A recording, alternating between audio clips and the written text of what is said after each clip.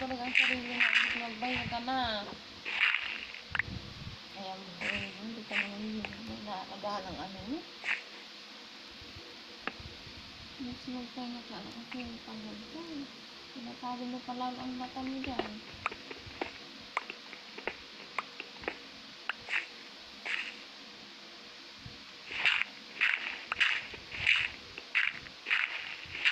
Yan o.